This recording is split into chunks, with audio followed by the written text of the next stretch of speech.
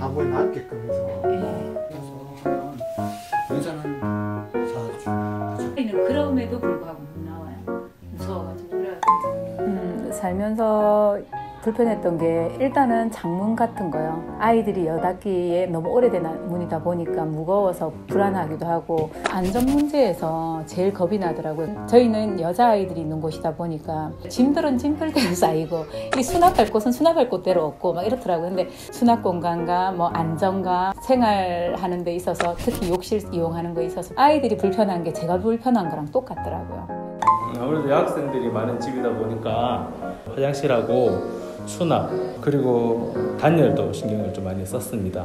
화장실 구조가 어, 안에 이제 플라스틱으로 마감이 되어 있었어요. 근데 그런 부분이 파손이 돼가지고 애들 씻기도 되게 불편하고 위험한 상태였기 때문에 그런 거 싹 다 걷어내고 어, 세면대를 두 개를 넣고 샤워기를 따로 달아가지고 화장실을 좀 더 효율적으로 쓸 수 있도록 최대한 신경 썼습니다. 그리고 수납도 한쪽 벽면 전체를 수납이 되는 거울 장을 달아서 정리가 잘 항상 잘 될 수 있도록 어, 그렇게 시공을 했습니다.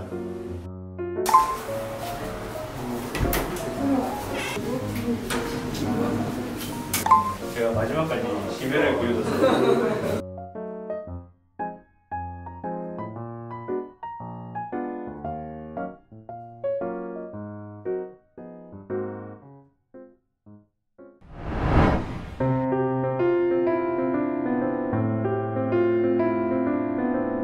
사업에 참여하시는 모든 분들한테 너무 감사해요.